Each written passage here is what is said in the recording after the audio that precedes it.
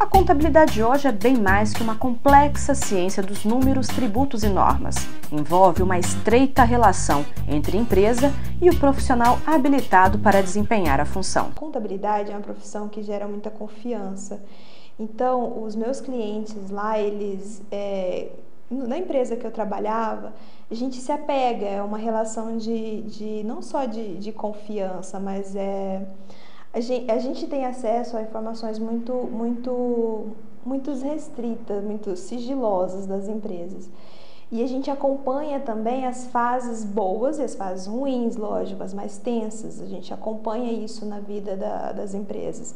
Isso gera um vínculo de confiança entre a empresa e o contador. Atuando desde 2016 no mercado, apesar de nova, essa empresa hoje possui seis funcionários e pretende ampliar o quadro de colaboradores, pois já atende cerca de 100 clientes entre pequenas, médias e grandes empresas, com filiais até fora de Mato Grosso do Sul. Nosso objetivo é facilitar a vida do empresário. Esse é o nosso principal objetivo, que a pessoa consiga administrar a sua empresa com os nossos dados que a gente fornecer aqui. Na verdade, eu enxergo a contabilidade daqui a 10 anos ou 5 anos, né? porque a contabilidade já está tá numa metamorfose ambulante, digamos assim, né? Todo ano ela muda e todo ano muda tudo de que a gente fala de contabilidade, quando a gente fala de contabilidade.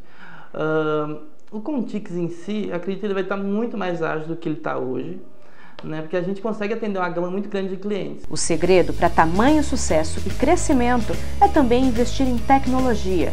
Pensando nisso, eles estão com uma super novidade para sair na frente. O que a gente está mudando aqui para o escritório e a gente está trabalhando muito é com a parte de BPO financeiro, que é uma novidade aqui em Campo Grande, mas que já existe em outros lugares do mundo e até no Brasil já entrou, mas ainda está bem cru mesmo que, que é isso, basicamente? É o empresário chegar na empresa dele e ele ter na tela do computador dele tudo que ele, tudo que ele tem para pagar até o final do mês e tudo que ele tem a vencer de recebíveis até o final do mês, por exemplo, para ele saber a margem exata com que ele pode trabalhar, para ele saber como que ele vai como que ele vai administrar as finanças dele com aqueles números. E isso só vem ajudar as empresas na hora de organizar os inúmeros tributos existentes. Hoje o Brasil está entre os 15 países com maior carga tributária do mundo.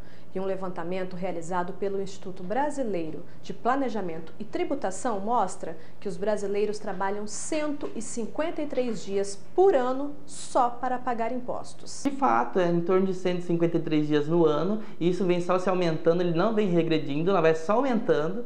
Quando eu comecei a faculdade, eu fiz um estudo sobre isso, e estava em torno de 97 dias e hoje a gente já está em 153 dias.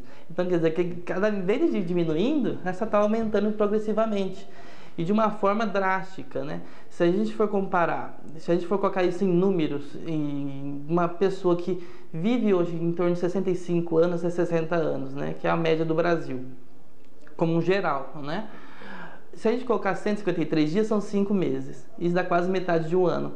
Em 60 anos, a gente está dizendo em 30 anos. São 30 anos para pagar impostos. E com tamanha carga tributária, o serviço de planejamento é essencial para não perder dinheiro.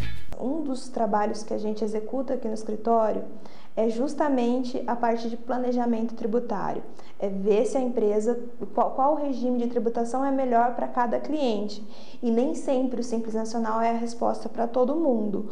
A gente teve um caso no início desse, desse ano, de 2018, de uma empresa que veio para a gente no mês 11 e ele veio como Simples Nacional. A empresa fatura menos de 300 mil reais mês. A gente, fez a, a gente fez o planejamento tributário no final do ano.